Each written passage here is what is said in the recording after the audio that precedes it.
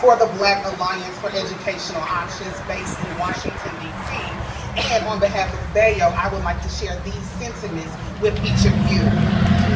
50 years past the Civil Rights Act, where the Supreme Court struck down the separate but equal doctrine that formed the basis for state sanctioned discrimination, drawing national and international attention to African Americans' plight.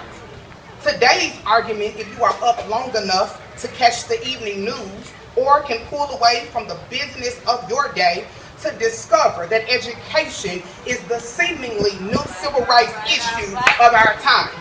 We're still fighting for educational equality, yet I dare measure just how equal we are today and how modern day ideologies such as I got mine, now you get yours, Okay. brings us closer or separate us even the further. Father. In a city where the graduation rates continually decline, where the poverty level still remain high, and at least 40,000 of our students are living in households where the income level is $10,000 or less. Yet, we're here on this ground to speak of the work that Mother King has done in education.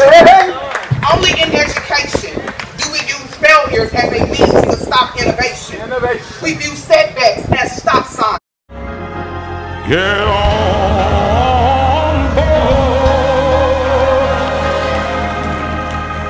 get on.